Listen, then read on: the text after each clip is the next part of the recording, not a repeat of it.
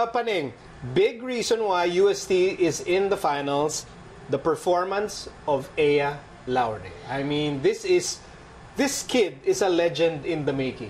Actually, hindi mo mapapansin na rookie siya. Sa pinakita niya yesterday's game, career high yun of 25 points for her.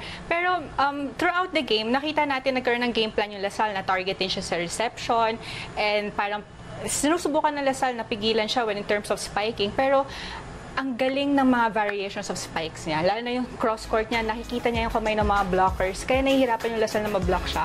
And sobrang consistent na napakita niya na from the start, beginning of the game hanggang sa panapos. As in, laban kung laban. Kita mo yung fire sa kanya talaga. uh, if you've noticed during the third set, I think, um, medyo na ano ulit yung tuhod niya. Nag-struggle siya, dun siya nag-start ma- pumangit yung reception. Right. Pero uh, Aya Laure, she knows how to play during big games. She's been doing it all her high school life and lumabas yon kahapon. Uh, the dynamics between Alaure and Arundina is extraordinary. Again, extraordinary. Kasi kahit nung kay EJ and now kay CC, hindi yan actually magsasabay ng isang set ng bombe. Lagi nilang sinasalo ang isa't isa. So ngayon na Eya naman and CC, it happened again. Bumababa yung ah, performance ni CC during the tail end of that match. Sinalo siya ni Eya nung fifth set. Kaya in one video na pinost sa ah, Twitter post game, she, CC was seen saying, thank you be to Eya. Dahil sinalo nga talaga siya ni Eya nung game.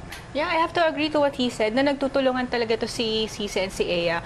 Kasi sa game, nakikita natin na bantay sarado si Cici eh. She only got 17 points. Pero pag nakikita yun ng teammates niya na nababantayan yung captain nila, lahat sila nag-step up para makatulong sa pagpunto, especially si Ea. Na yun na nga, saluhan sila. Hindi pwedeng yung isa papabayaan mo, lahat iaasa mo sa kanya. Kaya everyone, everyone stepped up. Yeah, but the magical thing is, even if sa standard si CC, ah, only 17 points. Sa standard si CC yun. Only 17. Only.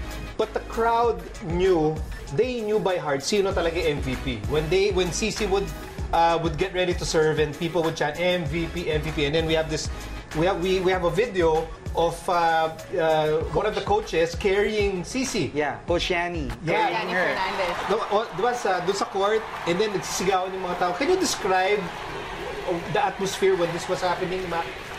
Uh, it was, uh, I, I, know I might sound uh, biased about this, but it was just magical to see her because during her first year, she wasn't even utilized that much. And then, paunti-unti, trinabaho niya to get recognized like this, na umpisahan sa opensa. This year, nung nawala si Milena, dumoble siya sa depensa.